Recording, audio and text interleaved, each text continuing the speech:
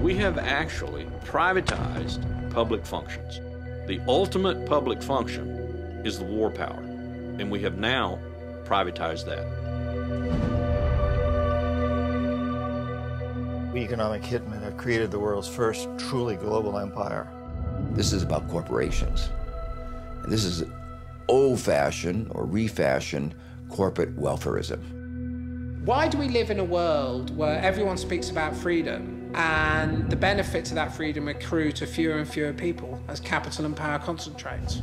The people who are losing because their investments are wiped out and because their savings are wiped out uh, are losing because they were part of a society that uh, went down the wrong track.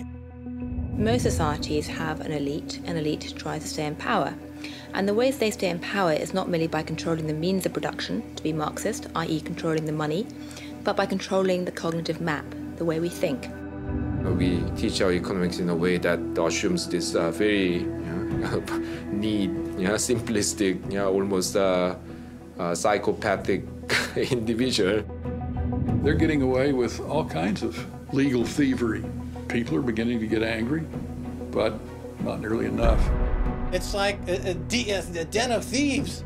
You know, it's, it's, it's, it's one of the most, like, they're, it's like Sodom and Gomorrah down there. You should not assume because you don't have a background in economics or in law that these issues are somehow too complex for you. They're not complex at all. It's very simple. It's about power, uh, and it's, it's about um, democracy. And uh, you understand that uh, just as well as I do.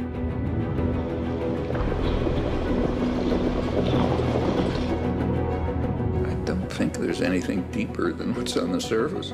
I mean, uh, you know, intellectuals have to make it look complicated. That's part of their job.